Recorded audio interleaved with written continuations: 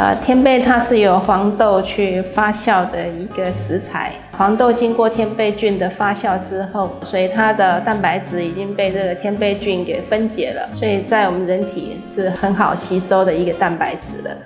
天贝它是由黄豆去发酵的一个食材，它本身没有什么特殊的味道，所以它很好发挥。不管是香煎的、红烧的，或是我们可以拿来做很多的酱汁，都很适合。